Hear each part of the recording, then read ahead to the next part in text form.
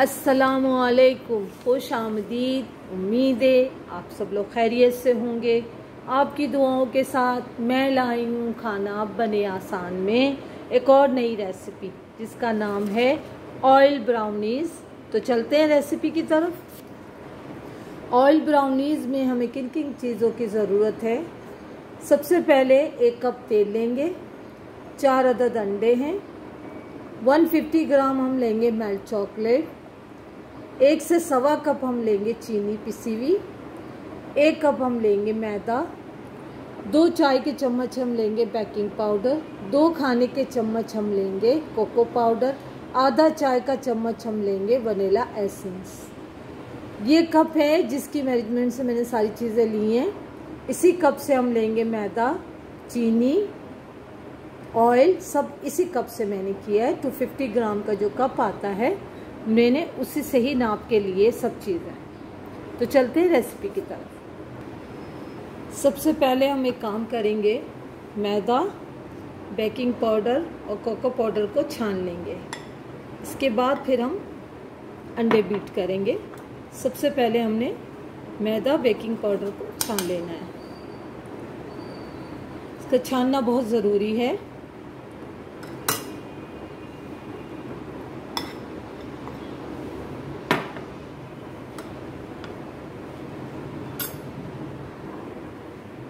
अब हम baking powder शामिल करेंगे। इसके साथ ही डालेंगे हम कोको पाउडर इसको भी छान लेंगे। छानने के बाद तीनों चीज़ों को अच्छी तरीके से मिक्स करेंगे।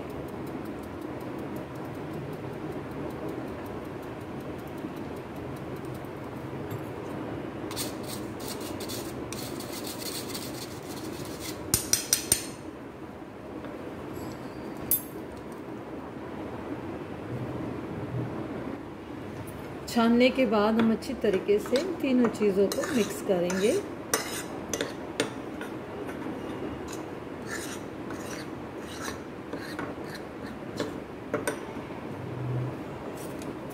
एक दफ़ा और थोड़ा सा डाल के फिर इसको छान लेंगे। इससे क्या है, सारी चीज़ें एक जान हो जाती हैं।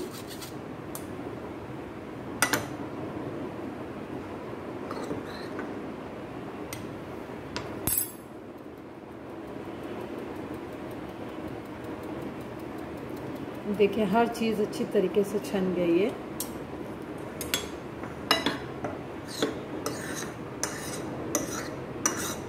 देखिए, सब चीज़ों को अच्छी तरीके से मिक्स कर दिया हमने। अब चलते हैं अंडों को बीट करने के लिए। अब हम चॉकलेट को मेल्ट करने के लिए रख देंगे। पतीली में नीचे पानी है और बीच में हमने चॉकलेट को मेल्ट करने के लिए रख दिया है। जब तक ये मेल्ट होगी, हम दूसरे काम करते हैं। अब हम आते हैं अंडों की तरफ़। सबसे पहले हम ये बिल्कुल ड्राई प्याला लेंगे, जिसमें बिल्कुल भी पानी का नामो निशान ना हो। बिल्कुल ड्राई करके लीजिएगा। अच्छा इसके अलावा बीटर के इनको भी बिल्कुल ड्राई कीजिएगा। अब हम चलते हैं। एक एक करके अंडे डालते जाएँगे और बीट करते जाएँगे। सबसे पहले हम एक अंडा डालेंगे।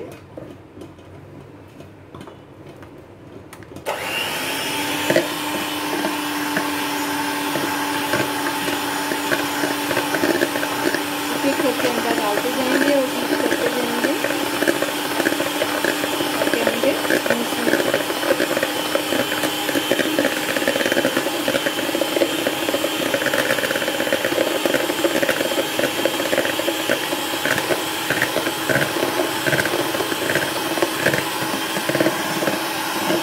दूसरा अंडा डालेंगे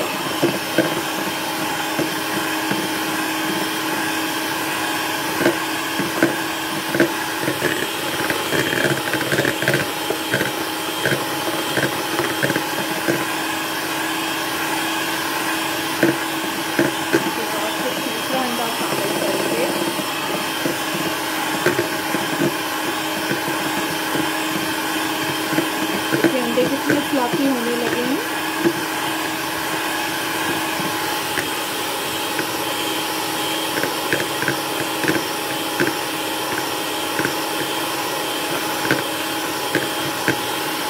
अब हम फिर से आँख में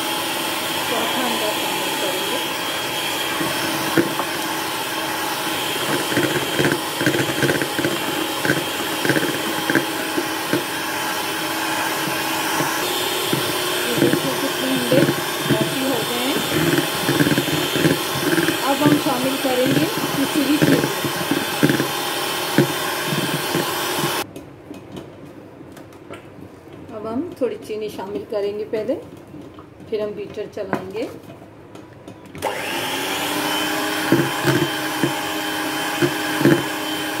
थोड़ी थोड़ी चीनी शामिल करते जाएँगे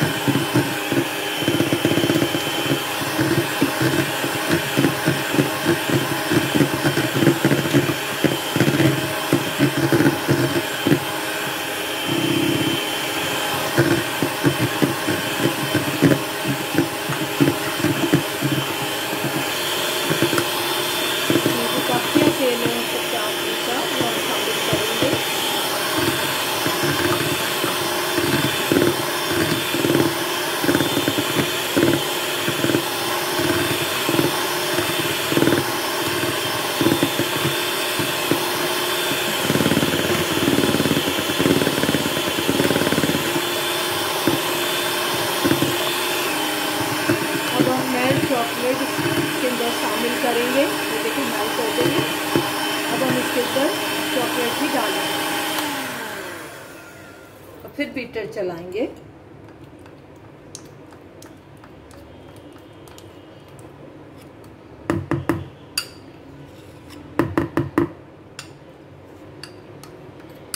अच्छी तरीके से ये डाल दें इसके अंदर। हम बीटर चलाएँगे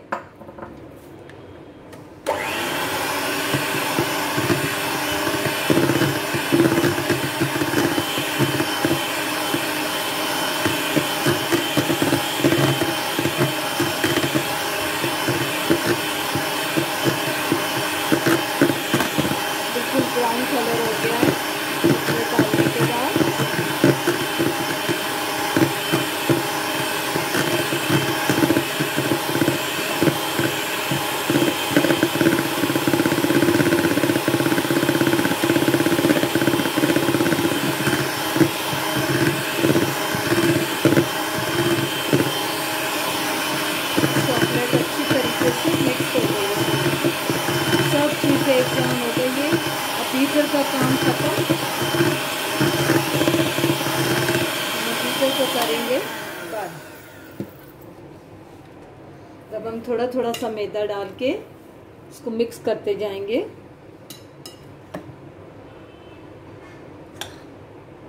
थोड़ा थोड़ा डालते जाएँगे और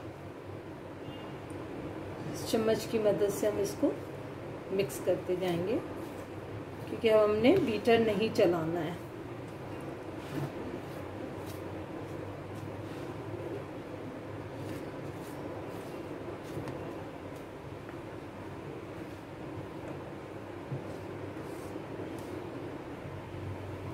थोड़ा थोड़ा मैदा शामिल करते जाएँगे और इसको अच्छे तरीके से मिक्स करते जाएँगे। बिल्कुल हल्के हाथ से।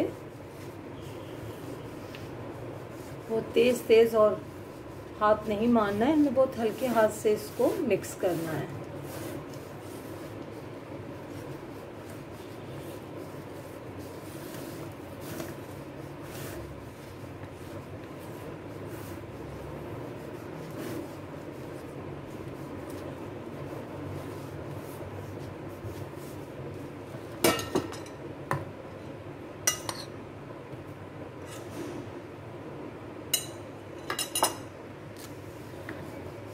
बस ये लास्ट अब पूरा मैदा शामिल किया है। अच्छी तरीके से मिक्स करके ये फाइनल हो जाएगा। फिर हम बेक के लिए ये देखिए अच्छी तरीके से मिक्स हो गया। इतने हल्के हाथ से मिक्स करें कि हर चीज़ बड़े, ये देखिए इतना फ्लॉपी और इतना सॉफ्ट है ये, बिल्कुल हल्का हाथ चलाएँ। कितने अच्छे तरीके से हर चीज़ मिक्स हो गई है।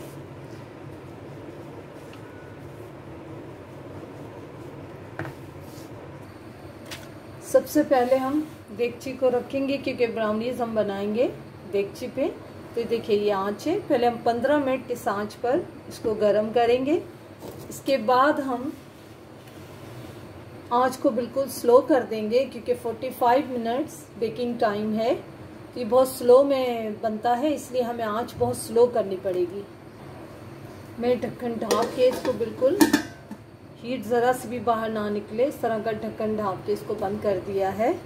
कम से कम पंद्रह मिनट तक इसको इतनी मीडियम तेज़ आँच पर मैंने इसको गर्म करना है, फिर मैं स्लो कर दूँगी, ठीक है? इस तरह का पैन लेंगे हम।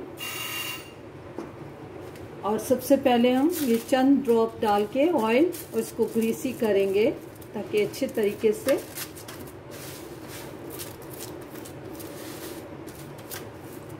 पेपर जो है बिल्कुल चिपक जाए।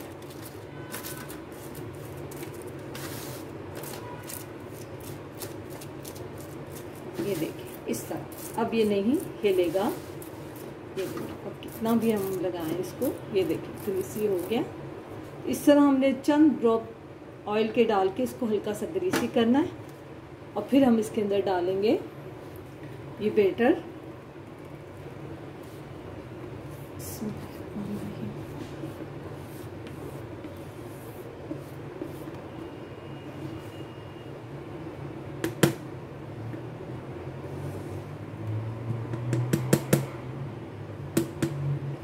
बेटर शामिल करेंगे।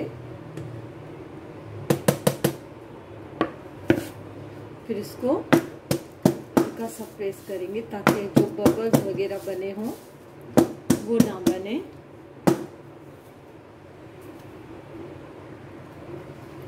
देखिए, कितने अच्छे तरीके से हल्का सा मार मार के इसको थोड़ा सा इस तरह करें।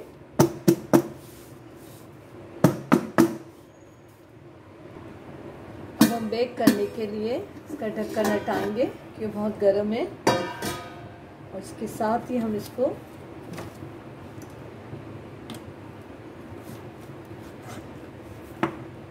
क्योंकि हाथ ना जले, इसलिए इस तरीके से रखेंगे, पकड़ के ये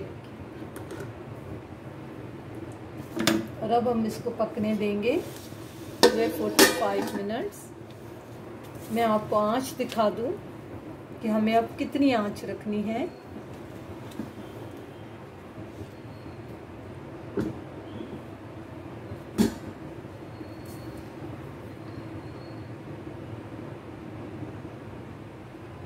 ये देखिए हमें इतनी आँच पे इसको 45 मिनट्स बैक होने देना है केक को, क्योंकि बहुत हल्की आँच और बिल्कुल इसलिए कि जल ना जाए तो हम हल्की आँच पे बिल्कुल बनाएँगे।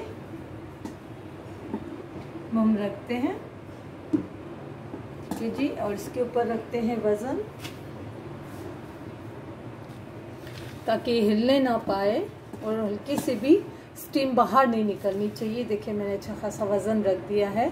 अब कहीं से भी हमको हीट महसूस नहीं हो रही है कि कहीं से निकल रही हो, इसलिए मैंने इसको बिल्कुल ही ओवन की तरह बंद कर दिया हर तरफ़ से। अब हम थोड़ी देर के बाद फिर देखेंगे। थोड़ी देर के बाद हम चेक करते हैं कि इसकी हीटअप कहीं से निकल तो नहीं रही। ये देखिए। ये बिल्कुल ठीक है। ये देखिए, यहाँ से थोड़ी सी हीटअप निकल रही है तो हमें स्थाल को सही से रखना पड़ेगा। यही चेक करना होता है।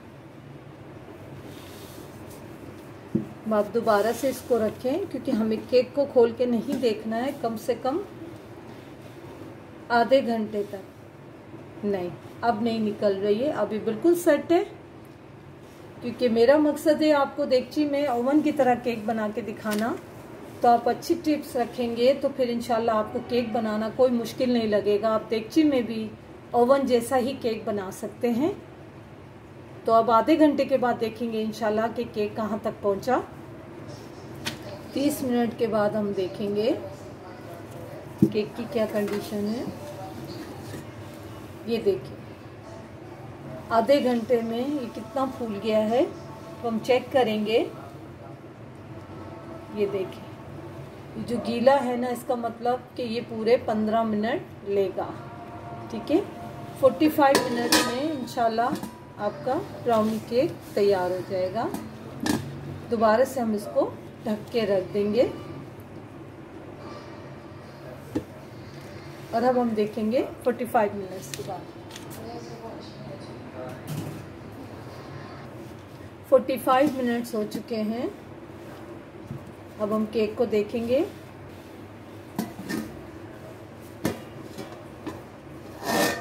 ये देखिए, बहुत अच्छे तरीके से पैक हो गया है। ये देखिए, मैंने छुरी निकाल के आपको दिखाइए आप दूसरी जगह भी ज़रा सा चेक कर लें ताकि आपको पता चल जाए कि केक सही तरीके से बैक हो गया। 45 मिनट्स में कि ऑयल ब्राउनीज बिल्कुल रेडी है। इन ताला आप जब उसको बनाएँगे देखची में तो ऐसा ही निकलेगा जैसा मैंने अभी बना के आपको दिखाया है। तो आप ज़रूर बनाइएगा। और डिश आउट करते हैं। मैं इसे निकाल के आपके सामने दिखा रही हूँ आपको। अब ये इतना गर्म है, हम इसको अभी नहीं निकाल सकते। कम से कम पंद्रह मिनट हम इसको ढक के रूम टेम्परेचर पर ठंडा होने के लिए रखेंगे। जब ये अपनी ही गर्माहट बिल्कुल ख़त्म हो जाएगी और ये जब ठंडा हो जाएगा तो बिल्कुल सॉफ्ट हो जाएगा। फिर ये आराम से निकलेगा और मैं आपको दिखाती हूँ केक ठंडा होने के बाद। ब्राउनीज बिल्कुल तैयार है। ठंडी होने के बाद मैं आपको निकाल के दिखा रही हूँ। ये देखिए, किस कदर सॉफ्ट है। आप चाहें आप चाहें तो इसे चॉकलेट सॉस से भी डेकोरेट कर सकते हैं, आप चाहें तो चॉकलेट से भी कर सकते हैं। मैंने थोड़ा सा इसको चॉकलेट सॉस से हल्का सा डिज़ाइन बनाया है। ये देखिए, लाइनिंग लाइनिंग तो ये अच्छा लगता है। जब आप हल्की सी इसको डिज़ाइन देंगे, बड़ा खूबसूरत लगता है ये भी।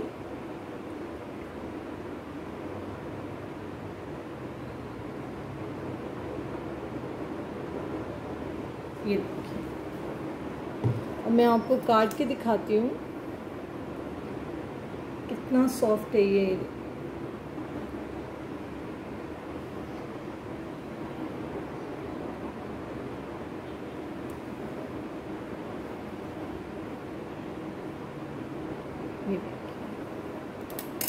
मैं आपको अंदर से भी दिखाती हूँ। ये देखिए कलर इसका। बाहर से भी। बड़ा ज़बरदस्त सॉफ्ट है, बिल्कुल। ये देखिए मेरे हाथ लगाने से आपको पता चल रहा है कि कितना ये सॉफ्ट है। ज़रूर बनाइएगा। इन ताला ओवन से भी अच्छा बनेगा आपको, क्योंकि कोई मुश्किल नहीं है। अगर आपको बनाना आता हो तो देगची में भी अच्छे से अच्छा केक बन सकता है। ऑयल ब्राउनीज तैयार है। इन ताला, आपको बहुत अच्छी लगेगी। आप ज़रूर बनाइएगा। बना के मुझे फीडबैक ज़रूर कीजिएगा। इसके अलावा आपको किसी भी चीज़ का मेरा आपको मिस्टेक हो, कोई ऐसा आपको पता चले कि शायद मैं कोई चीज़ भूल गई हूँ तो मुझे ज़रूर बताइएगा। वैसे टाइमिंग का बिल्कुल ख्याल रखिएगा 45 मिनट से पहले ये बैक नहीं होगा, आपको 45 मिनट्स ही रखने हैं इसको। और हल्की आँच पर देगची पे बनाइएगा। आपको मेरी रेसिपी पसंद आए तो मेरे चैनल को ज़रूर सब्सक्राइब करें। बेल आइकन को प्रेस करना मत भूलें, ताकि मेरी तमाम नई वीडियोस आपको मिल सके। इन फिर एक और मज़ेदार रेसिपी के साथ हाजिर होंगी। आज के लिए इतना ही। इजाज़त दीजिए। शुक्रिया।